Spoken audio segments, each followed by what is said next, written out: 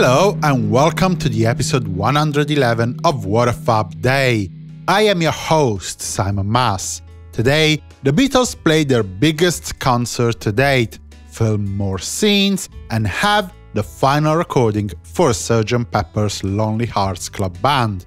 But that's not all we're going to cover. Let's see.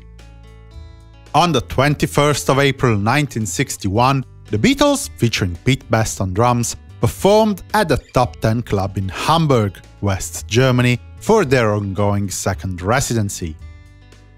In 1962, instead, the Beatles, still with Pete Best, returned to perform at the Star Club in Hamburg after a day of rest, their only one in the third residency of the band in West Germany. 1963, second in the bill only to Cliff Richard and the Shadows, the Beatles performed at the New Musical Express 1962-1963 annual Poll Winners All-Star Concert at the Empire Pool in Wembley, their biggest concert to date.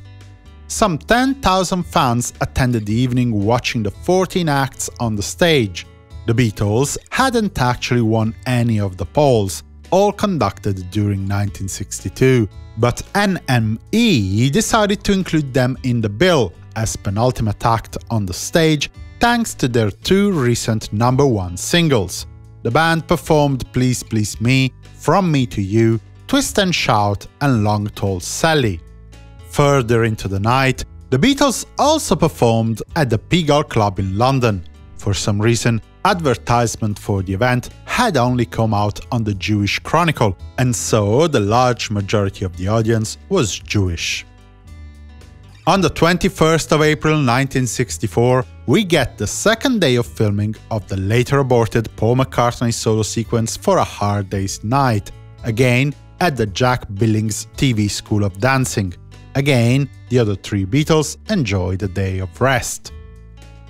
Moving on to 1965, more filming duties were expecting the Beatles at the Twickenham Film Studios, with the completion of the Scotland Yard scene for their second feature film, Help! In 1966, the Beatles were at the EMI studios in Abbey Road.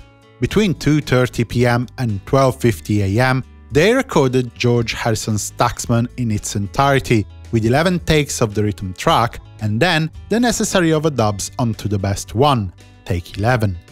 By the end of the session, the only elements still missing from the version that will open Revolver were the count-in, the choir calling to Mr. Wilson and Mr. Heath, the leaders of the two main British parties at the time, a cowbell track, and a guitar solo at the end of the piece, which was actually a copy of the Middle Eights solo. The work featured guitar, bass, and drums on track 1 of the 4-track tape, lead vocals on track 2 and 3, and a guitar solo by Paul McCartney, tambourine by Ringo Starr, and backing vocals by Paul and John Lennon on track 4. Finally, on this date in 1967, the Beatles returned to the Sgt. Pepper's album in Abbey Road, with a little idea completing the project to their maximum satisfaction. Since no silence had been left between the songs on the master, was there a way to leave no silence even after the end of the 40-second chord that concluded the day in the life and the album? Of course! The answer was to record something to put on the run-out groove of the LPs. People with automatic players would hear the sound for a couple of seconds, but those with older equipment would hear the track going on and on until they manually stopped the record player.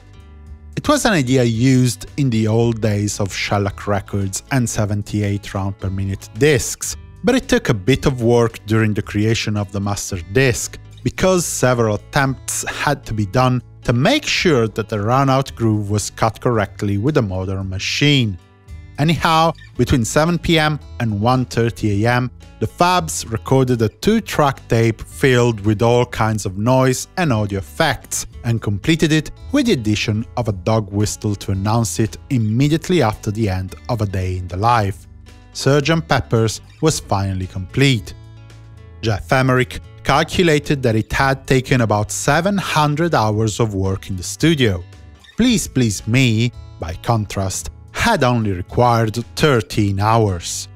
Before the end of the session, the band oversaw the monomix of Only a Northern Song, syncing parts of Take 3 with Take 11 onto one completed song, and achieving the final result after 11 attempts.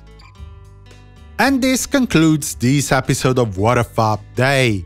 If you liked the podcast so far, please consider visiting www.simonmas.com support to find ways in which you can help me to put out more music-related content.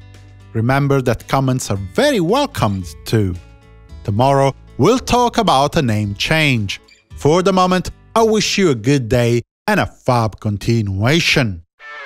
Simon Mas, music you love.